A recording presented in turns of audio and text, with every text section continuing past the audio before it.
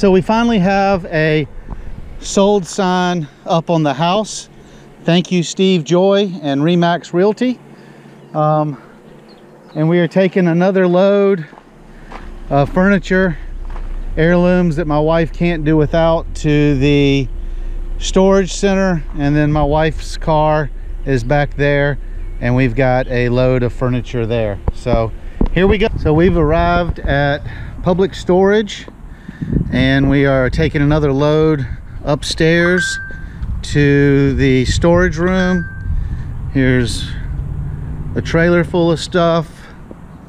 We got my wife's car over there. All right, now we're on the second floor. I think my wife's already taken the first load up.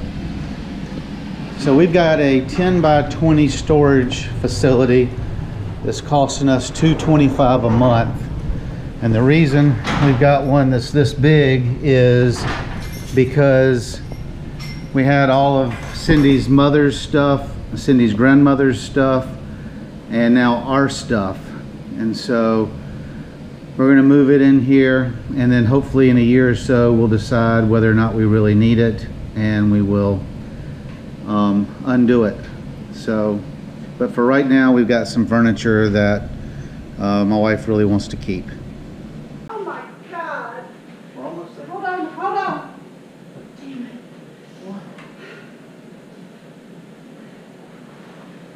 Stop. All right, lift your end up. Sit here.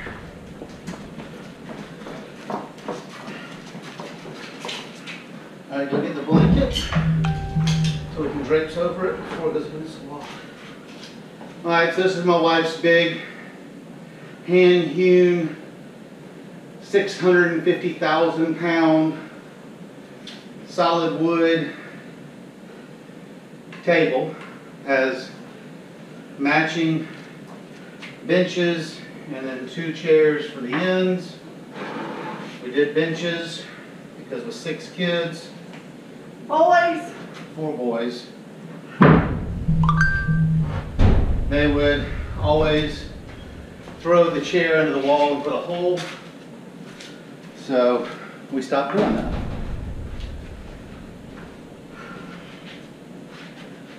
and it's hard to come by solid wood furniture anymore. We're pay thousand five hundred dollars a year to keep a fifteen hundred dollar table.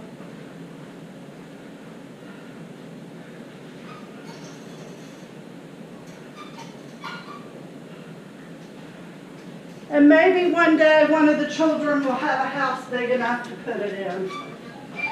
Buy them a new one then.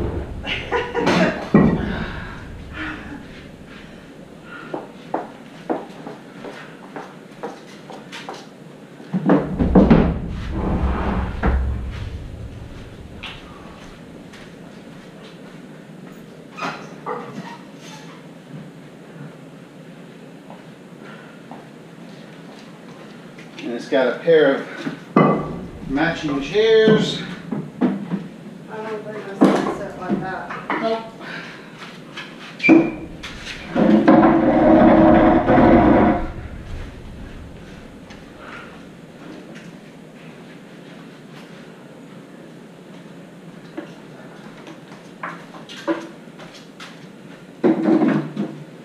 All right, and now we've got an irreplaceable sleigh bed that we bought at a secondhand store. In Hilton Head? We searched high and low for this for a while. Finally found one that we could afford. All right, we need another. All right, got some more blankets.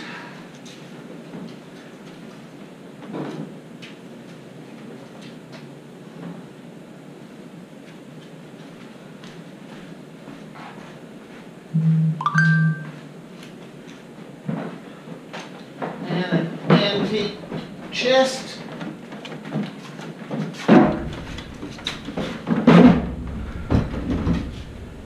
And that's all for this trip. We're gonna go back to the house and I'll give you a tour of what the house looks like now that it's empty and out.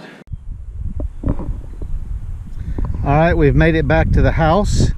As you can see, the, um, sorry about all the wind if you can hear that. As you can see here, the house is down there. And then we have our motorhome parked up here at the top of the driveway. Um, and we have gotten a large 40 yard construction type trailer or um, garbage container delivered that we've been putting a lot of our excess household stuff in that we are not storing anywhere. Um, I'll let you take a quick look in there to see what all we've thrown away so far. As you can see, there's a ton of stuff. Let's go for a look at the house. All right, up at the house, you can see here's Chance. You've heard me talking about Chance. Say hey, buddy. Hey. All right, let's go inside and take a look at what we've got. All right, when you walk in the front door, you've got the living room. Um, there are three pieces of furniture left. All that is going to my son Harper. Um, we've got this piece for hanging jackets and storing shoes in the entranceway. Um, those will be going to storage. Just the two pieces of furniture. The other stuff on there is going to Goodwill. As you walk through, as you can see, the dining room is empty. The kitchen has just one piece of furniture left, and that's going to my daughter Reagan. And then you can see in the laundry room here, there's still a washer and dryer and a freezer. Those are going to the new homeowner, and all our canning supplies will be going to our daughter-in-law Let's go look in the bedrooms. Guest bedroom number one just has two pieces of furniture left. They'll be going to um, to my daughter Reagan's house, her apartment, and then we've got a bedroom suite here in this bedroom. This is Davis's room. He'll be taking this stuff with him when he moves out. Sorry about the mess. We are not in the house anymore. We are living just up the driveway at the motorhome. You can see it at the top of the driveway. if you go in the master bedroom, there's a few pieces of furniture here. Two end tables and a chest and a chest of drawers. Those are all going to my son Harper. On this side of the room, there's a shelf and an antique um, armoire. The armoire is going to storage. The two shelving units are going to Harper's house. Bathroom is all empty except for brushes and toothbrush and a few little other knickknacks. Then we'll go upstairs.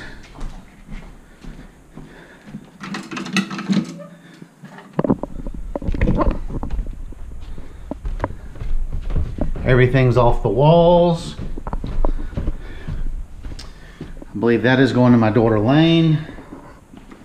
There's just a few little pieces of furniture up here left. Those of that and that had been claimed by children. That is going to Goodwill. My daughter Reagan's room, a mess. She's taking all that with her to her apartment.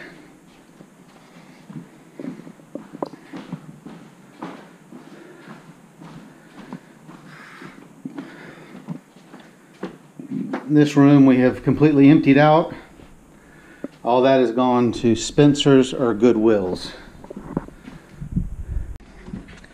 On the back porch, there's a few little pieces of wrought iron furniture which are going to my daughter-in-law's house and and you can see the pond down there the grass needs cut The lawnmower has already been claimed by a child and now I'm gonna have to try to get somebody to cut my yard for me.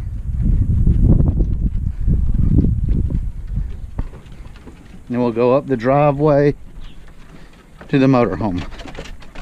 That's Midnight and Captain. Captain is my daughter's dog. He will not be going with us. Midnight, she'll be going with us on our adventure. So it'll be Midnight and Captain here. Midnight's going on adventure, Captain's going to my daughter's, and then Chance, the dog on the front porch, will be going on the adventure. All right, we've made it back to the motorhome. Cindy's not back from storage shed yet. Um, we hope you enjoy going along with our adventure. Hopefully we'll have another update in a week or two. If you like the video, please give us a thumbs up, subscribe and ring the bell for further updates. Uh, we're planning on doing a tour of the motorhome soon.